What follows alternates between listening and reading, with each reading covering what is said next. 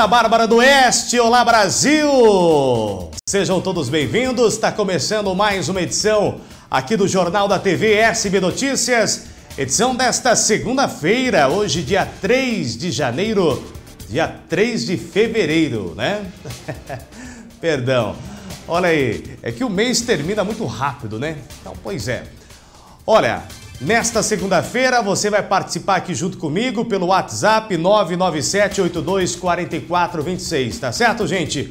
Olha, hoje, 3 de fevereiro de 2020. Vem junto com o Nilson Araújo, se inscreva aqui no canal da TV SB Notícias, clique aí no gostei e ative o sininho para que a gente possa sempre avisar você dos novos vídeos postados aqui no nosso canal. Tá certo, minha gente? Muito bem. É o Jornal da TV SB Notícias pelo nosso Facebook, né? A live ao vivo e também depois do programa nós compartilhamos aí também no YouTube, no nosso canal. Legal? Vamos que vamos.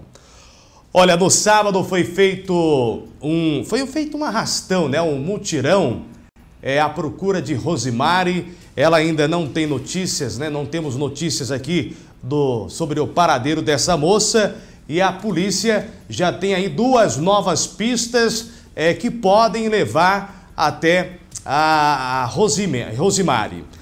Olha, no sábado foi realizado então esse mutirão e nós temos as últimas imagens da Rosimari foi ali na rua 15 de novembro, quando ela fez o trajeto para ir até a agência bancária, onde ela é, fez o saque de R$ 1.500.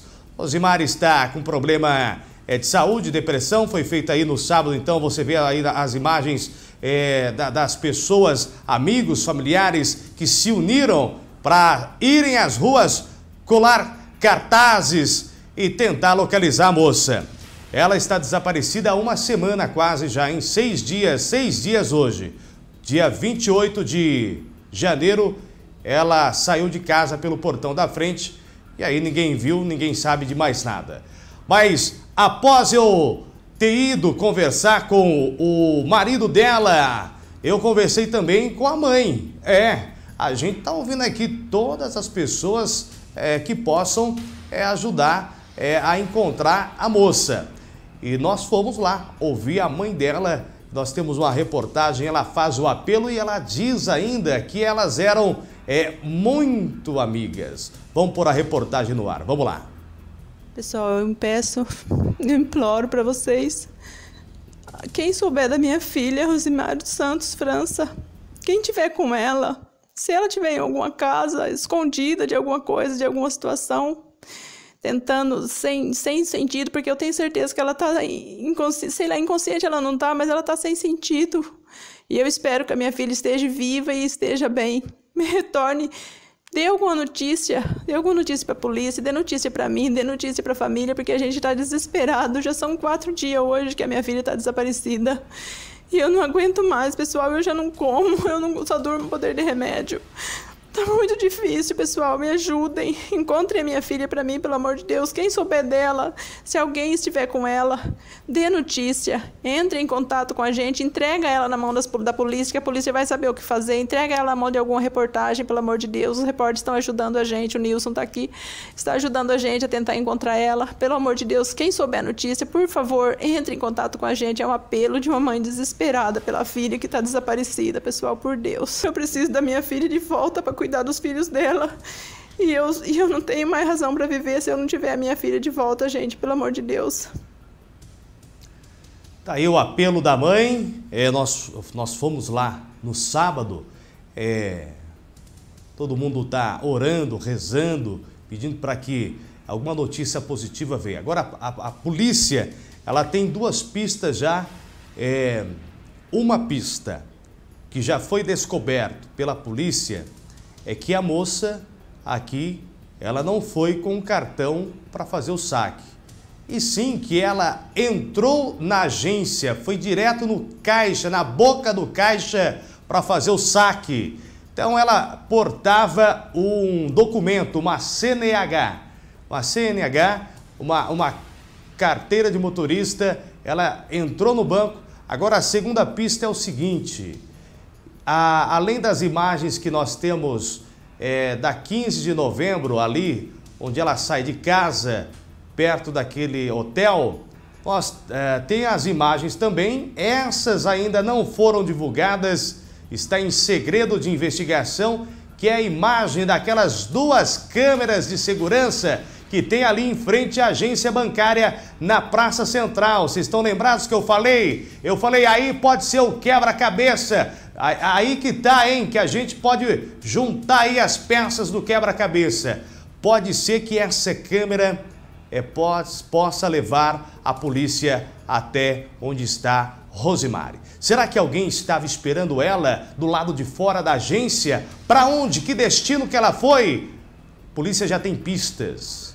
E eu tenho certeza que essa moça vai aparecer de uma hora, uma hora ou outra ela vai aparecer, é? E tem, tem a, a, a, algumas coisas aí que ainda não está se, é, se juntando. Tem olha, tem muita, muita água debaixo dessa ponte, viu? Então a gente está aqui divulgando mais uma vez para que, se você tiver notícias, entre em contato com a polícia, pode entrar em contato com a nossa é, Central de Jornalismo, tá bom?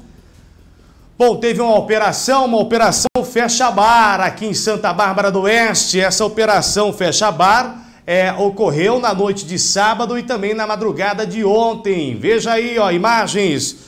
Olha aí, minha, minha gente.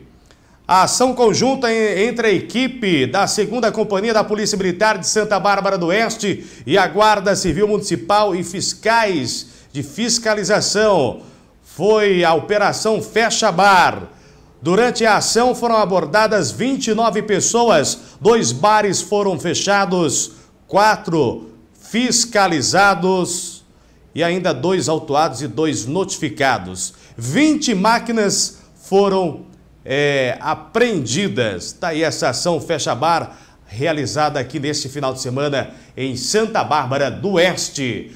Ora, teve assalto num estabelecimento comercial, numa drogaria, numa farmácia, Avenida da Amizade, foi ali no Jardim Europa, onde nós tivemos aí a localização de uma apreensão né, da moto e também dos dois criminosos. Dois assaltantes foram presos, um, dele, é, um deles baleado após esse roubo nessa drogaria no Jardim Europa, em Santa Bárbara. A dupla roubou cerca de 330 reais e fugiu com essa moto aí que você vê nas imagens. E pouco minutos depois, a polícia conseguiu interceptar a moto. Houve até uma luta corporal com um dos criminosos que acabou sendo atingido é, por um disparo é, de arma de fogo na, em uma das pernas do ladrão.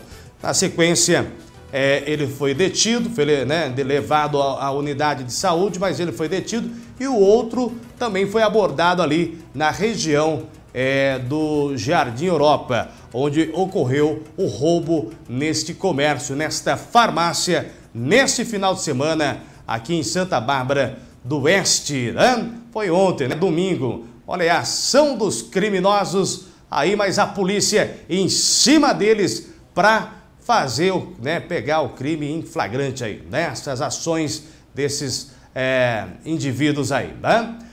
Gente, olha, quero agradecer a você que interage aqui junto comigo, mandando é, sempre as demandas, né, as sugestões de reportagens aqui para nossa central de jornalismo e para nós é um imenso prazer estar junto com vocês, tá? Luiz Fernando, nosso bom dia, o Guilherme Mantovani, Luiz Carlos Souza, Larissa Frutuoso, Maria Regina Camargo, Maria Souza, Cleusa Bento Kellen, é, Cristina Ruda, Maria Mendonça, Lúcia Morelato, Maria Alves, Kátia Gustavo, Roberval, Aline, um abraço para vocês, tá certo? Bom, amanhã a gente volta aqui no Jornal da TV SB Notícias. Obrigado pelo carinho, desejo para você um ótimo mês de fevereiro. Mês de fevereiro é o mês do, das agitações, volta às aulas, carnaval, né? Mas uma ótima semana para você, uma ótima segunda-feira. Lembre-se, mexeu com você, mexeu comigo. Tchau, pessoal. Boa semana.